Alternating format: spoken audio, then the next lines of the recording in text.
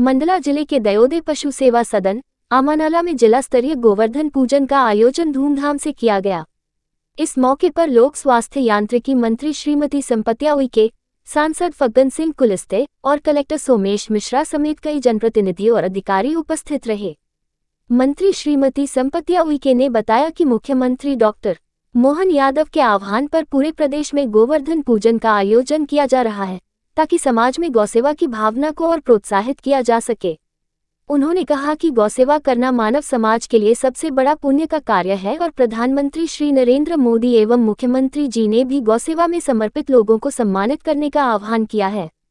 सांसद फग्गन सिंह कुलस्ते ने गोवर्धन पूजा की परंपरा पर प्रकाश डालते हुए कहा कि यह पर्व हमारी प्राचीन संस्कृति और परंपरा को प्रतिबिंबित करता है। उन्होंने बताया कि गौवंश की सेवा करना हमारी सांस्कृतिक धरोहर का हिस्सा है और इसे हर घर और गाँव में मनाना चाहिए।